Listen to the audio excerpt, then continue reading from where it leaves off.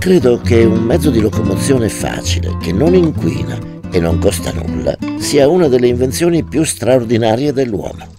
Chissà come mai ci siamo disabituati, quasi ce ne siamo disfatti per anni, per poi tentare di sanare il danno arrecato invadendo le città con le sharing bike. Per fortuna ho imparato a volare. Dall'alto le cose sembrano più belle, basta concentrarsi e poi si va. Bisogna solo decidere dove. E se avesse ragione Tore quando dice che il lavoro ci sta imbruttendo?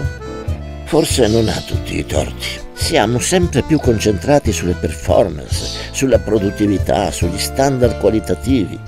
Siamo sempre più social e sempre meno socievoli.